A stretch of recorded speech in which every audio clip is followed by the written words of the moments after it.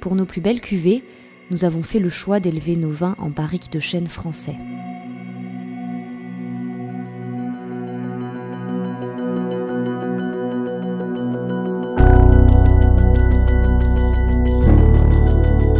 Tout au long de l'élevage, nous dégustons régulièrement nos barriques.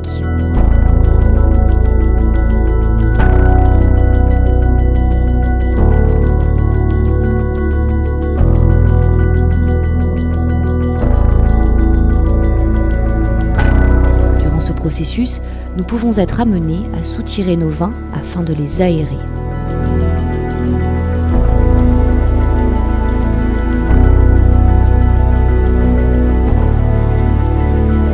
Après le soutirage et le nettoyage des barriques, nous procédons à l'entonnage.